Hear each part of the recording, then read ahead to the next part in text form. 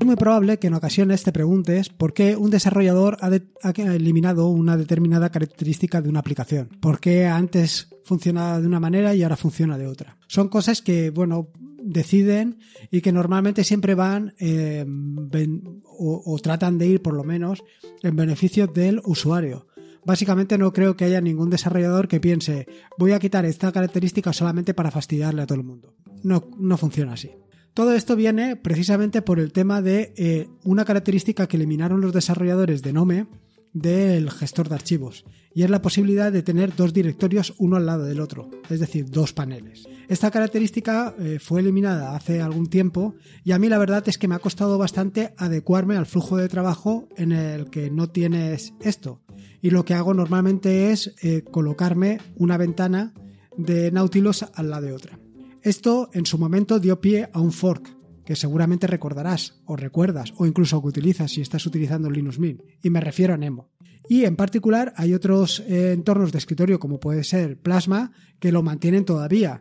Eh, Dolphin sigue manteniendo eh, los dos paneles y esperemos que no lo pierda. Pero no pienses que esto de los dos paneles es nada nuevo. Esto de los dos paneles ya, ya lleva muchos años. Solamente tienes que pensar, si es que en su día lo llegaste a conocer, en el comandante Norton. Comandante Norton tenía en su momento dos paneles, o Total Commander, que también ha sido eh, portado o migrado a Linux, que lo tienes disponible. ¿Y por qué te cuento todo esto de los dos paneles? Bueno, te lo cuento precisamente por la aplicación que te quiero contar hoy, que es Sunflower. Un gestor de archivos de doble panel muy sencillo, muy ligero, pero con un alto grado de productividad. Así que si te quedas un rato conmigo, te cuento exactamente mm, cómo puedes gestionar también con Nautilus todo esto del doble panel y te voy a hablar sobre Sunflower y las posibilidades que tiene.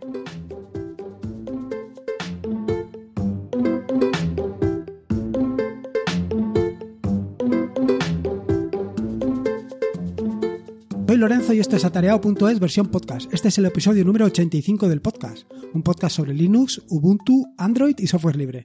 Aquí encontrarás desde cómo ser más productivo en el escritorio, montar un servidor de páginas web en un VPS, hasta cómo convertir tu casa en un hogar inteligente. Vamos, cualquier cosa que quieras hacer con Linux, seguro que la encontrarás aquí. Como te decía en la introducción, el objetivo del podcast de hoy es hablarte sobre esta aplicación, sobre Sunflower, un gestor de archivos de doble panel que es tremendamente sencillo, muy productivo y que eh, te permite manejar casi todo desde eh, o con atajos de teclado. Pero antes de esto te quería hablar un poco sobre esto de gestionar Nautilus como doble panel.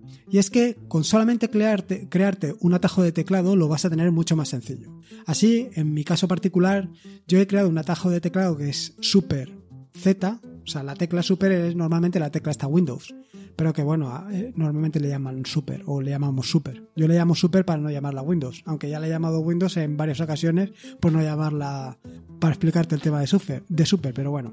Bueno, la cuestión es que, eh, aparte de esta tontería que acabo de decir, la, cuestión es que eh, crear un atajo de teclado que es super más Z y asociarlo a Nautilus más New Windows. De manera que cuando ejecutas super Z se crea una o se abre una nueva ventana de Windows. Y a partir de ahí lo que tienes que utilizar es la tecla super combinada con las, eh, con las flechas, con las teclas de flecha, con arriba, abajo, izquierda y derecha.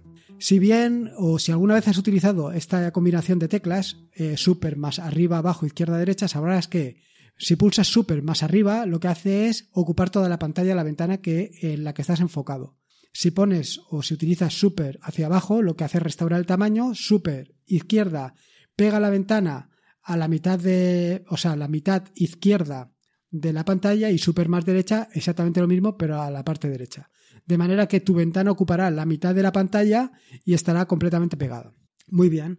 Con lo que te acabo de decir, utilizando el atajo de teclado Super Z, lo que haría sería crear una ventana de Nautilus con Super izquierda la pegarías a la parte derecha, otra vez haces Super Z, crea otra ventana de Nautilus y Super derecha la pegas a la derecha. Y de esta manera ya tendrías perfectamente creadas tus dos ventanas y podrías tener ambos directorios eh, uno al lado del otro. Si esto lo combinas con el atajo de teclado Control más L, este te permite editar el directorio en el que te encuentras, de manera que puedes cambiar más fácilmente de directorio, con lo cual todo esto, todo el funcionamiento de Nautilus se ha vuelto un poquito más productivo de lo que era antes. Pero bueno, Simplemente te quería contar esto para que veas que es posible eh, hacer una gestión de Nautilus un poco más productiva. No tanto pensado en eh, un interfaz gráfico donde lo manejas todo con el ratón, sino también utilizando atajos de teclado, que es lo que te hace ser más productivo. Porque no hay más, eh, no hay manera de ser más improductivo que ir moviendo el ratón de un lado a otro. Sobre todo si te pasa como a mí que tienes tres pantallas, que entonces el movimiento del ratón se puede convertir en una verdadera locura. Dicho esto, eh, vamos al, asunto del día, al asunto del podcast, a, Sunflower, a este gestor de archivos de doble, panel. ¡Uh! Me ha atragantado. Eh, ¿Por qué te voy a contar esto de Sunflower? ¿En qué, ¿O por qué te quería hablar de Sunflower? Bueno, la cuestión es que hace algún tiempo creé un, un repositorio, el Launchpad, un PPA, donde puedes instalarte con toda la facilidad del mundo Sunflower. Simplemente es añades el repositorio a los repositorios que tengas en tu equipo y a partir de ahí pues se va actualizando. ¿Qué es lo que pasa? Que lleva un tiempo sin actualizarlo, porque últimamente entre el podcast, los artículos, los tutoriales y todo esto voy un poco de cráneo. Y en este sentido, pues había dejado de em, actualizarlo, había dejado de actualizar eh, el repositorio. De manera que el, eh, el desarrollador de la aplicación vaya, dijo que iba a quitar el repositorio como un sitio oficial desde donde instalarte la aplicación. Me puse en contacto con él, le dije que actualizaría el repositorio y eso es lo que he hecho, básicamente. Actualizar el repositorio para que te lo puedas instalar con toda la facilidad del mundo. A partir de ahí ya pensé, y digo, ostras, eh, el tiempo que llevamos de podcast y todavía no he hablado de Sunflower. Y, y creo que vale la pena. Creo que sencillamente es una aplicación súper sencilla, súper intuitiva y que te da una gran cantidad de, o una facilidad para ser más productivo en lo que es la gestión o el trabajo con directorios. Básicamente, eh, creo que es más productivo incluso que utilizar el terminal, pero no te sé decir, ¿vale? Utilizando Sunflower tienes muchas ventajas que has perdido eh, al utilizar el terminal. Pero aquí tampoco me quiero meter yo en camisa de once varas. Bueno, ¿qué características interesantes puedes encontrar en Sunflower? Eh, la primera y básicamente la que más me llama la atención es el consumo de recursos. Y es que es una aplicación que apenas consume unos 50 megas. Con lo cual, eh, dentro del despilfarro de consumo de recursos que podemos encontrar por ahí, está muy bien, sinceramente. Eh, teniendo en cuenta que ayer me encontré con que el amigo Firefox se había llevado de una sola atacada 3 gigas de memoria RAM, pues encontrarte una aplicación que apenas llega a los 50 megas es toda una delicia. Por otro lado, se trata de una aplicación que es totalmente personalizable. Es una aplicación que la puedes, vaya, puedes mm, tocar casi cualquier cosa que te puedas imaginar. Así, por ejemplo, eh, puedes modificar la apariencia principal. Puedes esconder la ventana principal al cerrarla, en vez de que, en vez de que se cierre la aplicación. Puedes permitir que tener varias instancias de Sunflower. Puedes mostrar la barra de herramientas ocultarla, la barra de comandos. Tienes una caja de comandos para poder escribir directamente comandos allí. Puedes elegir entre tener los dos paneles, uno al lado del otro o uno encima del otro. Puedes utilizar pestañas, enfocar directamente en pestañas, mostrar iconos en lugar del texto en las pestañas. Eh, además, puedes esconder la ventana en función de la operación. Puedes mostrar notificaciones puedes eh, mostrar el formato em, de los tamaños, tanto en sistema internacional como en como el sistema IEC. En cuanto a las operaciones que puedes realizar, puedes elegir o bien enviar los objetos directamente a la papelera o borrarlos directamente, reservar espacio al copero o al, o al mover, perdón. Puedes montar automáticamente eh, los dispositivos cuando los inicies, al conectarlos. Puedes eh, desde ocultar archivos que no aparezcan nunca en Sunflower, definiéndolos por defecto en las preferencias. Puedes ordenar todas las operaciones teniendo en cuenta la capitalización. Puedes eh, navegar con un solo clic o con dos clics. Puedes utilizar el botón derecho para seleccionar ítems. Puedes asociar eh, atajos de teclado para eh, las operaciones. Puedes elegir cargar las pestañas específicas en lugar de guardarlas. En cuanto eh, al terminal, también tiene incluido o embebido en la propia aplicación un terminal, aunque también puedes utilizar una terminal externa. Decirte que eh, para la versión 19.04 y 19.10 de Ubuntu eh, ya no está disponible la posibilidad de tener una terminal basada en, o sea, una terminal embebida, porque esta depende de una librería que actualmente no está disponible en Ubuntu. Para versiones anteriores de Ubuntu sí. Esto se corregirá en versiones posteriores de Sunflower porque el desarrollador está migrando toda la aplicación para que utilice las últimas versiones de, las librerías de, Nome. Con lo cual vas a encontrar una aplicación que va a estar mucho más integrada con el sistema con, con Nome, con lo cual va a funcionar por otra parte bastante mejor. Respecto al tema de personalizar, eh, puedes hacer otras muchas más cosas de las que te he comentado hasta ahora. Y entre ellas hay una parte que es eh, bastante interesante respecto a las cosas que puedes hacer, como es, eh, es el tema de los atajos de teclado. Y es que precisamente una de las características que debe de tener una aplicación que se puede considerar productiva es atajos de teclado y tiene una cantidad ingente, por decirlo de alguna manera, de atajos de teclado. Atajos de teclado que te van a permitir realizar casi cualquier operación que te quieras imaginar directamente con ese atajo de teclado. Pero no solamente esto. Además de tener dos paneles, también te permite tener en cada uno de los paneles varias pestañas. Con lo cual, al final, eh, puedes tener ahí una combinación de paneles y pestañas que puede ser espectacular lo cual te puede llevar también por otro lado a que pierdas productividad. Pero bueno, eso es una cosa que ya va a depender un poco de ti. Luego también es posible guardar las pestañas que tienes creadas en un momento, es decir, te permite guardar sesiones, de manera que cuando inicies otra sesión con ese nombre tendrás tus pestañas predefinidas ya cargadas. Por otro lado, otra característica muy interesante es que puedes asociar emblemas, emblemas a directorios, a archivos, de manera que tú puedes decir, por ejemplo, determinados archivos que son para eliminar o, en fin, tiene hasta 20 emblemas diferentes para asociarlos a diferentes tipos de archivos y diferentes tipos de directorios. De manera que un solo vistazo ya sepas exactamente qué tipo de archivo o qué es lo que quieres hacer con eso. Eh, por otro lado, para las diferentes operaciones asociadas con un gestor de archivo, como copia, borrado, tata, todas estas cosas, Sunflower soporta lo que es la multitarea, de manera que te permite hacer pues, los borrados mm, mm, en paralelo y por tanto va a ser mucho más rápido. Además de todo esto, Sunflower se puede eh, extender mediante el uso de complementos, con lo cual, si ya era personalizable de por sí, mediante el uso de complementos lo puedes dejar ya fino fino. Respecto a otras cosas interesantes que te puedes encontrar en Sunflower, es que em, puedes marcar archivos y directorios utilizando o bien el ratón o bien eh, utilizando un patrón determinado o por extensión.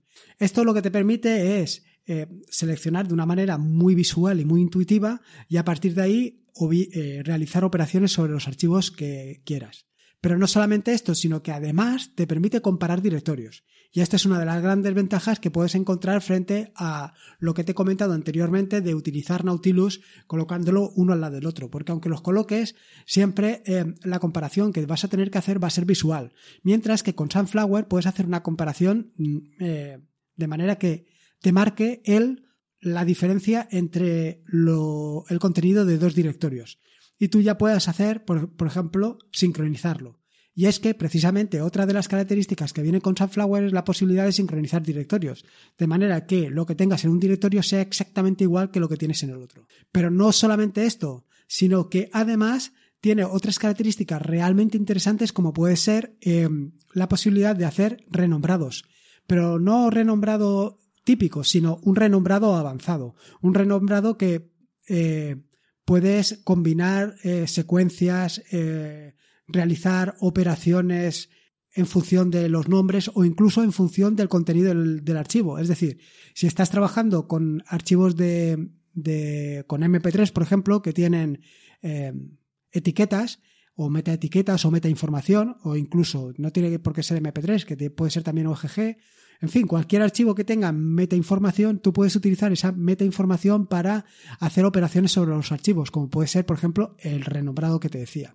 También eh, tiene otra característica muy interesante Sunflower, como es la posibilidad de eh, encontrar archivos duplicados.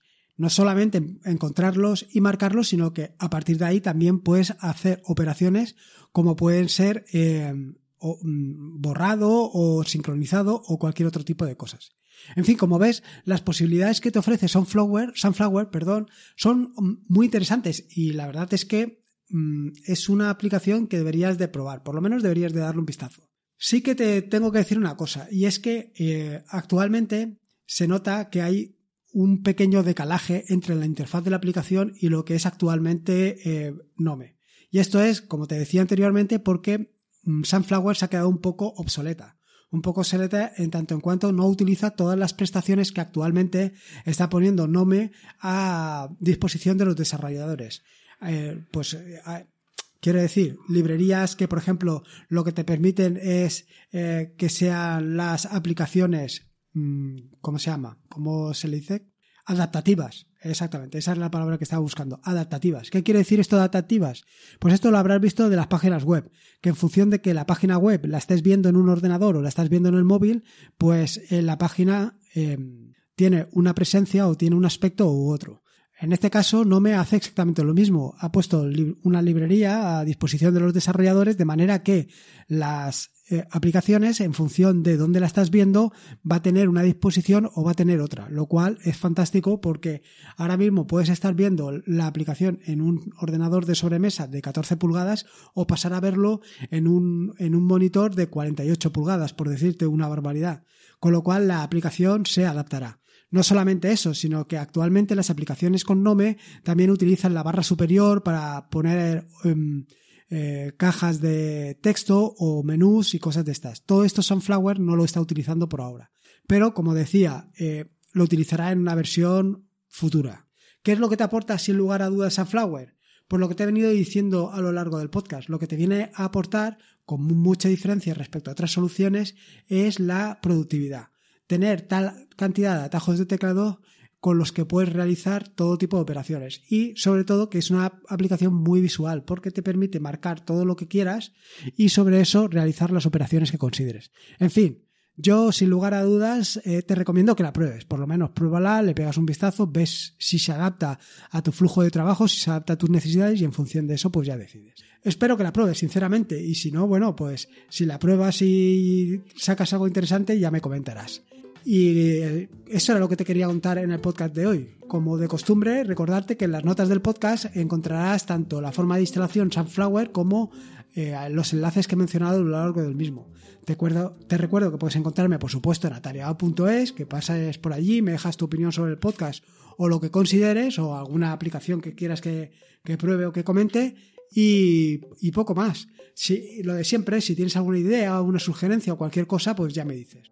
Recordarte que este es un podcast asociado a la red de podcast de sospechosos habituales, que te puedes suscribir en el feed feedpress.me barra sospechosos habituales y que, como te digo siempre, recuerdes que la vida son dos días y uno ya ha pasado. Así que disfruta como si no hubiera mañana y si puede ser con Linux, mejor que mejor.